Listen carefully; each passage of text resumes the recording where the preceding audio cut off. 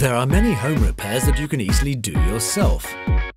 You will now see how to repair a shower head. First, measure up the two parts to ensure they fit together correctly. Apply a generous amount of all-purpose glue around the inside of the shower head. For bonding applications that will be exposed to water and moisture, make sure you use a strong water-resistant glue. Attach the other part and leave together for 24 hours. It's done.